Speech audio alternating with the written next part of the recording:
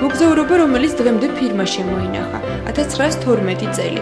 აკაკი წერეთლის მოგზაურობა რაჭა ლეჩხუმში. ვასილ ამაშუკელმა მაშინ პირველ სრულმეტრაჟიან ფილმად აქცია. ისტორიად ქცეული კინოსურათის სრულად აღდგენა მხოლოდ საუკუნის შემდეგ მოხერხდა. რესტავრაციამ ფაქტობრივად ხელახალი სიცოცხლე შემატა ამ ფილმს. უფრო მეტი ეს ვიდრე პირველი ქართული კინოკულტურის ძეგლი უფრო მეტად არის ქართული კულტურის ძეგლი, იმიტომ რომ უფრო მეც მოიცავს. უამრავ ინფორმაციას აღმოაჩენთ, უამრავს. ადამიანების განწყობა ხასიათები ჩანს, ადამიანები ჩანენ, აი ცოცხლდებიან. სურათში გაცოცხლებული ეპოქა განსაკუთრებით კარგად ჩანს რესტავრირებულ ფილმში. პირის აღდგენა ავსტრიაში მიმდინარეობდა. კრებულად ქცეული ახალი პროექტი სამი ნაწილისგან შედგება.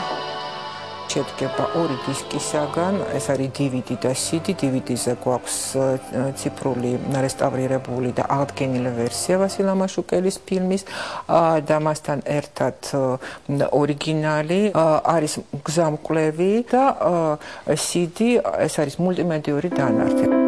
აღდგენილი ფილმის ნახვა მაყურებელს მუსიკის თანხლებით შეეძლება. უხმო კინოსურათისთვის კომპოზიცია საუკუნის შემდეგ სპეციალურად შეიქმნა.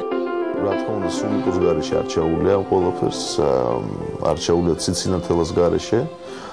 და რაღაცნაირად შევეცადე, რომ სწორედ ეს მუსიკა ის ეპოქაა და 21 საუკუნე გამერთიანებია. 1912 წელს ვასილ ამაშუკელის მიერ გადაღებული აკაკის მოგზაურობა რაჭა-ლეჩხუმში წლების მანძილზე არქივში ინახებოდა. კინოსურათი ორნაწილიანია და ის ერთ-ერთ პირველ დოკუმენტურ ფილმადაა ევროპაში აღიარებული.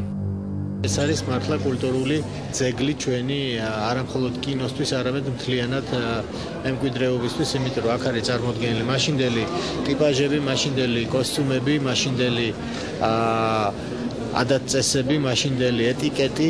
უნდა იყოს ხელმისაწვდომი სკოლებისთვის, მუზეუმებისთვის, საგანმანათლებლო ორგანიზაციებისთვის და ყველა სტუდენტს ან მოყვარულს კონდეს უფლება და შესაძლებლობა რომ ან ნახოს, ან ინფორმაცია მოიზიდოს ამ საბოლოო პროდუქტიდან. პირველი ქართული დოკუმენტური ფილმის აღდგენას და ციფრულ ვერსიაზე გადატანას ორი წელი დასჭირდა. ისტორიად ქცეული ფილმი, რომელიც ერთ ალბომში გაერთიანდა მაყურებლისთვის ხელმისაწვდომი 7 მაისიდან გახდა